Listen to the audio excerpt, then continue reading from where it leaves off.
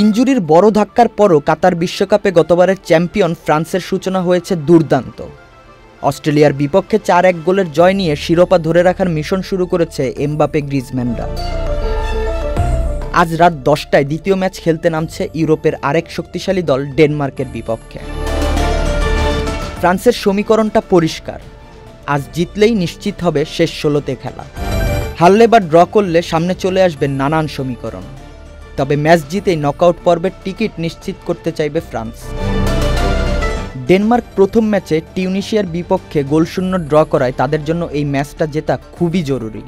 আর France চাইলেই যে ডেনমার্ককে হারিয়ে দেবে, তাও বলছে না অতীত। এই দুই দলের অতীত সাক্ষাতের পরিসংখ্যান বলছে, খুবই হাড্ডাহাড্ডি লড়াই হয় তাদের মধ্যে।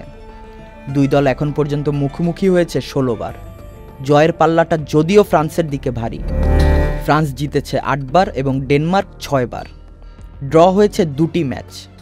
এই বছর ওয়েফা ন্যাশনস লিগে দুবারের সাক্ষাতে দুবারই হেরেছে ফ্রান্স। প্রথমটিতে দুই এক গোলে, দ্বিতীয় ম্যাচ দুই শূন্য গোলে। প্রতিপক্ষকে ছোট করে দেখছেন না ফরাসি কোচ।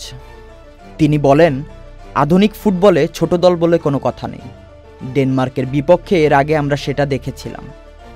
সাম্প্রতিক সময়ে তাদের কাছে দুই ম্যাচ হারের বিষয়টা আমাদের মাথায় রাখতে হবে। ইঞ্জুরির কারণে পল পক বা এনগোলা কান্তে, ক্রিস্টোফার এনকুকো, কিম ব্যাপে এবং কারিম বেঞ্জেমা বিশ্বকাপে নেই। উনিশশো আটাত্তর সালে ইংল্যান্ডের কেভিন কিগানের পর এই প্রথম কোনো বিশ্বকাপে বর্তমান ব্যালন্ডিয়র জয়ী ফুটবলার থাকছেন না।